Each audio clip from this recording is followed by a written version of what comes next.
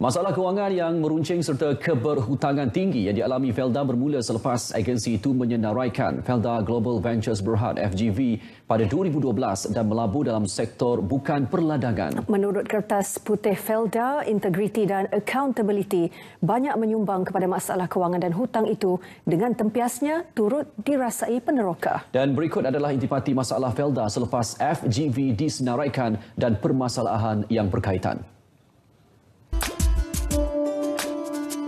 Perjanjian pajakan tanah LLA antara FGV dan Felda menyebabkan pendapatan Felda berkurang lebih 1 bilion ringgit setahun.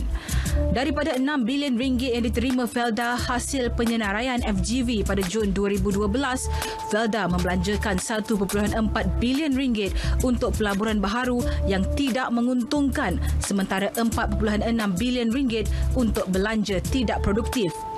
FGV telah membelanjakan 3.3 bilion ringgit daripada 4.5 bilion ringgit yang diterimanya daripada penyenaraian bagi tujuan pelaburan serta pembangunan tidak menguntungkan wujud konflik kepentingan dalam pengurusan dan operasi apabila pengerusi Felda Tan Sri Muhammad Isa Abdul Samad turut duduk di 20 lembaga pengarah anak syarikat atau sekutu Felda yang menyumbangkan kepada ketiadaan semak dan imbang atas keputusan pelaburan syarikat kawalan dalaman Felda yang lemah di samping kurangnya accountability mengakibatkan Felda mengalami kerugian tinggi secara berterusan.